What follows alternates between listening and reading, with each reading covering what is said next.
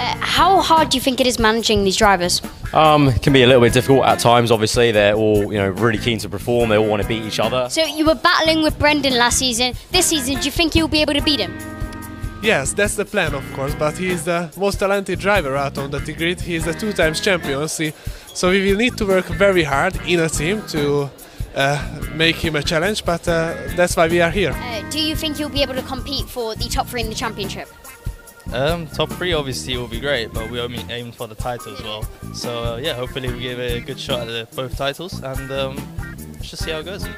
So as we know, you raced in the eROC and you actually won that, which was absolutely amazing. And you've already raced against Brendon Leigh, uh, who is the two-time champion. Do you think you'll be able to beat him like you did in the eROC? Well, I was thinking this the whole year. It's got to be a psychological advantage if you've beaten him, you know, in a real car on a different sim. I know it's F1, it's his game, but if I get up to speed on it, then that's definitely going to play in his mind. Um, but he's a great driver, so it's going to take a lot of hard work to even get near Brendon, hopefully beat him. So uh, we'll see.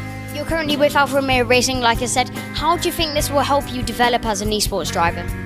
A lot. I mean, uh, well, Alfa Romeo has the best drivers out there. I mean, like as I said, Sally and uh, Danny, two amazing drivers who I think are going to fight for the top for sure. So I have a lot to learn from them, and I think uh, just talking together, I think we can develop the car great for for the season. So, guys, I've got one question for you. Who is the quickest out of you? What do you think, Prado? Me. uh, that's a tough one. I'm just gonna have to, for political reasons, I'll just say me because I don't want to piss any of our drivers off. Yeah, so ju- I'll just go with me, but it's not. I was going, going to say it was Arau here.